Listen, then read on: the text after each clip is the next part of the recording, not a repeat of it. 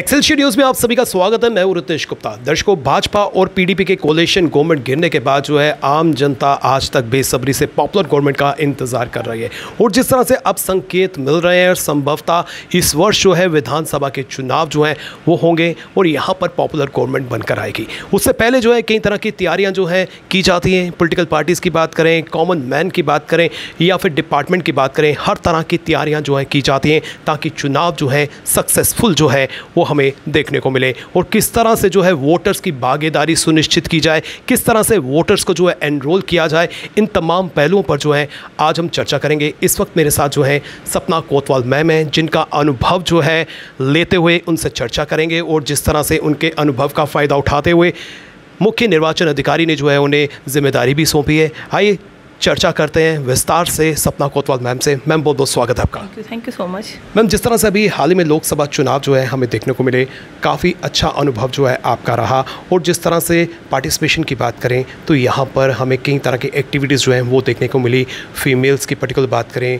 First time voters की बात करें युवाओं की बात करें वो देखने को मिली। और कई तरह के जो है यहाँ पर पिंक पोलिंग स्टेशन जो है देखने को मिले। कई तरह के जो है इंतज़ाम किए गए थे। और विधानसभा चुनाव जो है संभवतः इस वर्ष जो है होने के बिल्कुल संकेत नज़र आ रहे हैं। तो क्या कहना चाहते हैं? जिस तरह से आप पर विश्वास जो है वो किया गया है, किस तरह की ज़िम्मेदारी को आप लेती हैं? थैंक यू सो मच आपने जो अभी बोला कि लोकसभा इलेक्शन को लेके हाँ बिल्कुल सही है। उसमें हमारे यहाँ से जो हमारे चीफ इलेक्टोरल ऑफिसर है, पांडुरंगा पोले सर और इलेक्शन कमीशन ऑफ़ इंडिया की गाइडलाइंस के मुताबिक हम लोगों ने स्वीप की एक्टिविटी और मीडिया की, आप लोगों के माध्यम से, लोगों में प्रचार इस बात का बहुत अच्छा हुआ।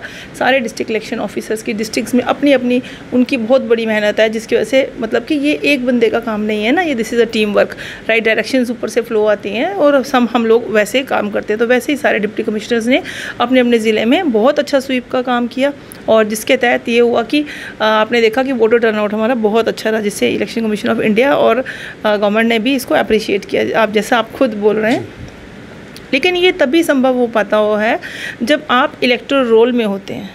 तो आज जो हमसे हमारी आपसे चर्चा है वो इसी विषय में है कि ये एक सेकंड समरी रिवीजन हो रहा है। स्पेशल समरी रिवीजन स्टार्ट किया जा रहा है। स्पेशल समरी रिवीजन होता है। इलेक्ट्रल रोल में एनरोल वो बच्चे जो एक जुलाई 2024 तक 18 साल के हो चुके हैं। उनको अब हो चुके जब पहले इलेक्शन से पहले फ़र्स्ट इलेक्ट्रल रोल जो बना था इसका समरी रिविजन का वो प्री लोकसभा था। इस फ़ेज़ में और बच्चे इनरोल हो चुके हैं एलिजिबल हो चुके हैं तो वो एलिजिबल बच्चे अपने आप को अपने आप को रजिस्टर कराना है उन्होंने फॉर इलेक्ट्रल प्रोसेस मैम किस तरह से जो है रजिस्टर करवा सकते हैं किस तरह से वो एनरोल कर सकते हैं? हाँ फ़र्स्ट फ़र्स्ट ऑफ़ ऑल सबको पता होता है कि उनका बी एल कौन है। अगर बच्चों को नहीं पता होता वो अपने पेरेंट्स को घर में किसी को भी पूछ सकते हैं। पहला नंबर तो बी के साथ उनको रबता करें तो सबसे बेस्ट है कि वो फॉर्म नंबर छः उनको देंगे और छः वो बच्चे भर के उनको दे देंगे और वो उनको एनरोल कर देंगे। और किसी नाम करेक्ट कराना है तो वो आठ नंबर का फॉर्म भर के देंगे तो ये बीएलओ का काम है ये करना ये उसी की ड्यूटी है उसको। फिर भी अगर आपको उससे नहीं समझ आती है या बी नहीं मिलता है आप अपने कंसर्न तहसीलदार के पास जाइए जो tehsildar assistant electoral registration officer होता है तो उसका भी ये फ़र्ज़ होता है कि वो अपने जो उसके एरिया के जो लोग हैं उनको एनरोल करें। अब यहाँ से भी अगर आपको लगता है कौन जाएगा? इतना बोर हो गया हम लंबी क्यू में या मिलेगा नहीं मिलेगा तो आप अपने हमारी वेबसाइट है W dot voters dot E C I dot G O V dot in अभी मैं आपको ब्रोशर भी दिखाऊँगी तो उसमें लिखा हुआ है स्कैन कर सके आप स्कैन करके अपने घर से अपने मोबाइल का इतना हम और इंस्टाग्राम फेसबुक पे रहते हैं अपने लिए एक आईडी इससे बेहतरीन आईडी कोई नहीं है और बाद में ये बोलते हैं कि ये ये अच्छा नहीं हुआ वो अच्छा नहीं हुआ। सबसे पहले आप वोटर तो बनिए आप पार्टिसिपेट तो करिए। अगर आप वोटर ही नहीं हैं और ये बोलते जाएँगे और वहाँ पे वोट देने जाएँगे आप इलेक्ट्रल रोल में नाम नहीं होगा आप जो मर्ज़ी हो आप you are not allowed to cast your vote ma'am हमेशा जो है ऐसी शिकायतें देखने को, सुनने को मिलती हैं जब भी चुनाव होता है। कुछ लोग रजिस्टर नहीं करवा पाते हैं, इस कारण वो वोट कास्ट नहीं कर पाते हैं और वहाँ जाकर जो है, जहाँ पर बूथ होता है, वहाँ हंगामा भी किया जाता है। आप बिल्कुल सही बोल रहे हैं। इसीलिए हम तो टाइम एंड अगेन टाइमली सबको इसीलिए हम आपके माध्यम से सबको भी ये बताना चाह रहे हैं क्योंकि जैसे आपके इतने व्यूअर्स हैं ये देख लेंगे। तो जिनको नहीं पता उनको भी पता चल जाएगा कि वोटर की एनरोलमेंट तो उन्होंने खुद करवानी है जी। है ना? तो वो अगर खुद से एनरोल करके तो देखें अगर नहीं होगा तो ये ये नहीं कि आपने एक दिन किया और ख़त्म हो गया। एक टेक्निकल प्रोसेस है जब आप अपलोड करोगे ई आर उसको ई आर चेक करेगा ई आर उसको एक्सेप्ट करेगा आपके इलेक्ट्रल रोल एक ड्राफ्ट रोल तैयार होगा। ड्राफ्ट रोल आपके ऑब्जेक्शंस के लिए लगा जाएगा। जाएगा उसमें आप देख सकते हो आपका नाम सही है गलत है एडिशन है नहीं है तो फिर से आपको एक मौका दिया जाता है till public final publication of the roll तो करेक्शन भी कर सकते हैं। यस यस करेक्शन तो ये ये नहीं है कि आपको आज ही नहीं हुआ आपने क्लिक कर दिया नहीं बना तो आप बैठ गए। आपने भी तो ट्रैक करना है ना थोड़ा सा? आप थोड़ा चेक करके देखें कि आप हैं कि नहीं है। आपका इतना अच्छा आई कार्ड होता है आपको खुद भी मेमोरी रहती है कि हमारी फ़र्स्ट एनिवर्सरी हो हमारी फ़र्स्ट कोई ओकेजन हो हमें याद रहता है। हमें फ़र्स्ट वोट भी याद रहता है। बिल्कुल और काफ़ी क्रेज़ जो है युवाओं में रहता भी है। तो मैम जिस तरह से चुनावों का संकेत तो साफ़ नज़र आ रहा है तो किस तरह की एक्टिविटीज़ जो हैं इस वर्ष हमें विधानसभा चुनावों के लिए हमें देखने को मिलेंगी?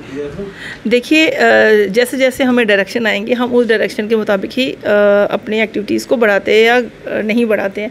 तो इस समय हमें स्पेशल समरी रिवीजन का है कि हमें इलेक्ट्रो रोल हमें एक प्योरीफाई करना है प्योरीफाई इलेक्ट्रो रोल देना है तो ये स्टेप जब 9 अगस्त तक है मैं ये भी बता दूँ 25 जुलाई से लेकर 9 अगस्त तक ही भर सकते दस को आप आओगे तो फिर अगर वो एक्सटेंड नहीं होती है तो फिर हम भी कुछ नहीं कर सकते हैं। और ये क्योंकि उसके पास भी एक फ़ेज़ होता है जिसमें उसने उसको क्रॉस चेक करना है। आपने तो अपलोड कर दिया सबने लेकिन उसको वेरीफाई कौन करेगा? उसको वेरीफाई करने के लिए भी टीम को टाइम चाहिए। तो आगे जैसे जैसे डायरेक्शन आएगी अगर जैसे हमें डायरेक्शन आती हैं कि इलेक्शन को लेकर उस ढंग से हमारी भी गतिविधियाँ तेज़ हो जाएँगी जैसे जैसा हमें बोला जाएगा। मैम जिस तरह से चुनावों की बात करें तो चुनावों में कश्मीरी पंडित माइग्रेंट्स की बात करें तो उनका भी जो है एक योगदान रहता है। उनके जो है वोटिंग प्रोसेस में जिस तरह से एम फॉर्म की बात करें तो लास्ट टाइम जो है उसे ख़त्म कर दिया गया था। तो इन विधानसभा चुनावों के लिए उनके लिए क्या इंस्ट्रक्शंस रहेंगी?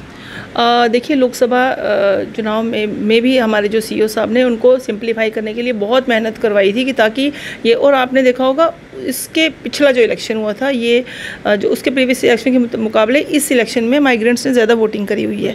वो इसीलिए कि सर ने थोड़ी हमसे ज़्यादा एफर्ट्स लगवाए मेहनत करवाई एक चीज़ों को थोड़ा सा सिंप्लीफाई करने की कोशिश की थोड़ी फैसिलिटी अच्छी कर दी बूथ्स बड़े अच्छे लगते अब आप वो बोरिंग से नहीं जैसे स्टार्टिंग में होता था वोट देने जाना या कोई मॉडल पोलिंग बूथ है पिंक पोलिंग आप जाओगे ना एक फील ही अच्छी आती है कितना अच्छा अच्छा ग्रीन पोलिंग एक नहीं। पिंक, रेड, ब्लू, ग्रीन मतलब कि इलेक्शन के साथ इको फ्रेंडली होके भी चल रहे हैं। प्लांटेशंस को भी लेके चल रहे हैं। लास्ट टाइम मतलब लैक्स में प्लांट पार्टीशन हुई है लोकसभा में। तो सेम यही पैटर्न यहाँ भी फॉलो होगा just to attract the voters as well as to ecosystem को भी सब बैलेंस में बनाते हुए ये इलेक्शन होंगे। मैम, जिस तरह से युवाओं की बात करें, कुछ युवा जो हैं बाहरी राज्यों में चले गए हैं, कुछ महिलाओं की बात करें, उनकी शादियाँ जो हैं वहाँ हो गई हैं तो कहीं ना कहीं जो है वो वहाँ पर भी वोट कास्ट कर रही होती हैं और यहाँ पर भी जो है कई बार जो है वोट कास्ट करती हैं। ऐसे के लिए क्या इंस्ट्रक्शंस हैं डायरेक्शंस हैं? देखिए इसमें भी जब रोल प्योरीफाई होता है तो उसमें डी डुप्लीकेशन जो होती है वो भी पता चल जाती हैं। अदरवाइज़ ये क्रिमिनल ऑफेंस है। ये उसके पार्ट का फॉल्ट है। अगर कोई इलीगल एक्शन होगा तो उसके ऊपर होगा। अगर वो पकड़ा जाता है कि भाई दो जगह वोट नहीं आप दे सकते हो वो वहाँ भी देगा वो यहाँ एक जगह तो उसको डिलीट कराना ही पड़ेगा। अगर वो सोच रहे हैं कि ठीक है चलाकी कर लेते हैं आज हो जाता है लेकिन पकड़ेंगे तो एक्शन भी उन्हीं पर होता है।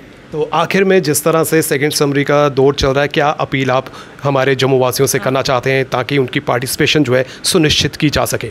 मैं जम्मू वासियों से और, और पूरे जम्मू कश्मीर के लोगों से यही एक रिक्वेस्ट करूँगी कि आप जो 18 प्लस बच्चे हैं जो घर में आपके बच्चे 18 प्लस हो गए हैं या जो इनरोल नहीं है या जिसका नाम करेक्ट नहीं है तो वो यही आपके पास 25 से लेकर 9 अगस्त तक आपके पास स्लैब है। आप इसमें अपने आप को प्योरीफाई करें एक्टिफाई करें बीएलओ से मिलें। अगर नहीं मिलता तो वन ये एक हमारा टोल फ्री नंबर है।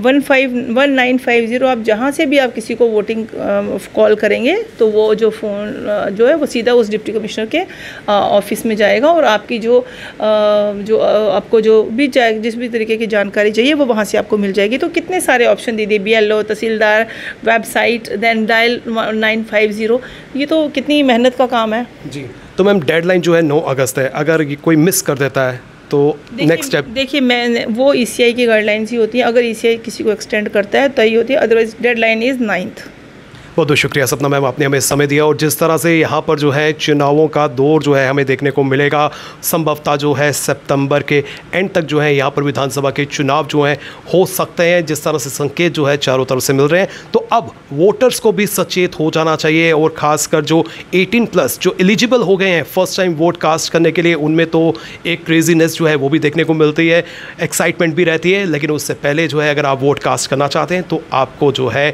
अपने आप को एनरोल करना होगा। और यहाँ पर कई तरह के प्लेटफॉर्म जो हैं, उपलब्ध हैं। कई तरह की जानकारियाँ जो आपको ऑनलाइन, ऑफलाइन मोड से मिल सकती हैं। तो इसीलिए समय रहते जो है, आप रजिस्टर हो जाएँ और तब जाकर आप वोट कास्ट करें। अपनी पॉपुलर गवर्नमेंट को जो है, आप चुन सकते हैं। फ़िलहाल, नितिन कनोत्रा और मुझे यानी रितेश गुप्ता को दीजिए इजाज़त और आप देखते रहें एक्सेल न्यूज़।